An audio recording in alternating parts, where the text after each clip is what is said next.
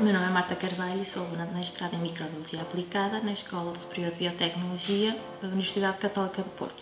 Neste momento estou a participar num projeto que tem como objetivo a utilização de extratos de plantas para controlar as bactérias patogénicas nos tecidos.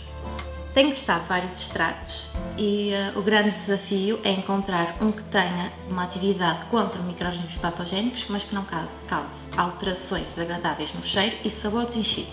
Assim, no laboratório efetuam-se diversas análises, de modo a determinar quais os extratos com maior hum, capacidade de destruir as bactérias, sendo a concentração inibitória a mais baixa, e depois aplicar nos enchidos de modo a verificar se eliminam ou não na, nessa mesma matriz. Estou confiante que no meu trabalho irá resultar um novo produto e que possa ser reduzidos alguns aditivos químicos que são adicionados aos tecidos e que ofereçam uma garantia de segurança ao consumidor.